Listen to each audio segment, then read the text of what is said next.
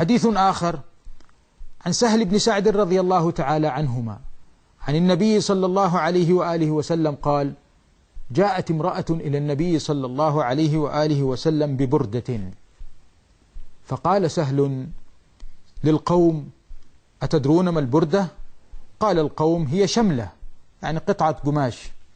فقال سهل هي شملة منسوجة فيها حاشيتها. فقالت يا رسول الله أكسك هذه المرأة أرادت أن تعطي النبي صلى الله عليه وآله وسلم هذه الشملة أو هذه القطعة من القماش هدية منها له صلى الله عليه وآله وسلم. يقول الراوي فأخذها النبي صلى الله عليه وسلم محتاجا إليها فلبسها. فرآها عليه رجل من الصحابة فقال يا رسول الله ما أحسن هذه فاكسنيها. فقال نعم. الرجل لما رأى ذلك الجمال في يد النبي صلى الله عليه وآله وسلم أراد تلك الشملة كما يظن الصحابة لأجل جمالها. فقال نعم. فلما قام لامه أصحابه أي أصحاب النبي صلى الله عليه وآله وسلم وقالوا له ما أحسنت؟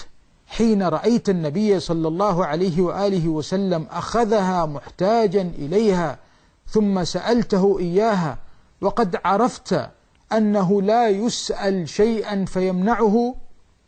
فماذا كان الرد؟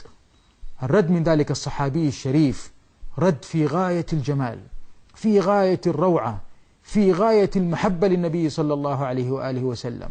قال لهم كلمة مهمة جدا قال رجوت بركتها حين لبسها النبي صلى الله عليه وسلم علي أكفن فيها علي أكفن فيها. انظروا إلى حسن خلقه صلى الله عليه وآله وسلم. ولا تنسوا حسن الصحابي رضي الله تعالى عنه في اختيار ما يناسبه لا لهذه الدنيا وإنما للدار الآخرة. العاقل في هذه الدنيا هو من يحسن الزرع فيها لأجل أن يحصد خيرا في الآخرة عندما ينتقل إلى مولاه سبحانه وتعالى. عن أنس رضي الله تعالى عنه قال خدمت النبي صلى الله عليه وسلم عشر سنين. فما قال لي أف قط وما قال لي لشيء صنعته لما صنعته ولا لشيء تركته لما تركته. وكان رسول الله صلى الله عليه وسلم من أحسن الناس خلقا. ثم يقول ولا مسست خزا يعني حريرا خزا قط ولا حريرا ولا شيئا كان ألين من كف رسول الله صلى الله عليه وآله وسلم. ولا شممت مسكا قط ولا عطرا كان أطيب من عرق النبي صلى الله عليه وآله وسلم. لن أتطرق إلى كل ما في هذا الحديث من جمال جمال اليد جمال عرقه صلى الله عليه وآله وسلم. فهذا يحتاج إلى حلقات نتكلم فيها عن جمال خلق النبي صلى الله عليه وآله وسلم. ولكن نتكلم من هذا النص عن جمال خلقه صلوات الله وسلامه عليه. عشر سنين لم يقل لمن يخدمه لشيء فعله لما فعلته ولا لشيء تركه لما تركته تحمله صلى الله عليه وسلم. لا نعتقد أنه لم يخطئ سيدنا أنس. أخطأ بلا شك ولا ريب. ولكن الصدر الواسع هو صدره صلى الله عليه وآله وسلم. لأن من شأن الناس أن يخطئون ولكن التحمل عند النبي صلى الله عليه وآله وسلم كان كبيرا. وربما أنه لم يخطئ ببركة خدمته صلى الله عليه وسلم لأن بركة خدمة الصالحين وسيدهم سيد الوجود تعطي في الإنسان ضمانة عن التوفيق عند الله سبحانه وتعالى. حديث آخر عن جابر بن سمرة رضي الله تعالى عنهما قال صليت مع رسول الله صلى الله عليه وسلم صلاة الأولى ثم خرج إلى أهله وخرجت معه فاستقبله ولدان فجعل يمسح خدي أحدهم واحدا واحدا قال وأما أنا فمسح خدي فوجدت ليده بردا أو ريحا كأنما أخرجها من جؤنة عطار. صلى معه الصلاة الأولى وهي صلاة الظهر. ثم استقبله الولدان وهو خارج. فما يمر صبي بالنبي صلى الله عليه وسلم وطفل إلا ويحنو عليه بيده. لا يحنو عليه بالكلام. الكلام مع الفعل. يمسح الخد صلى الله عليه وآله وسلم. ومسح خده هو. ذلك الصحابي الجليل سيدنا جابر. يقول والله وجدت ليده بردا ووجدت ليده ريحا كأنها خرجت من جؤنة عطار يعني من محل عطارة. عرق مبارك وعرق شريف وريحة مباركة من عند الله سبحانه وتعالى للنبي صلى الله عليه وآله وسلم. حديث آخر عن أبي هريرة رضي الله تعالى عنه. قال قال رسول الله صلى الله عليه وآله وسلم قال قبل رسول الله صلى الله عليه وآله وسلم الحسن بن علي.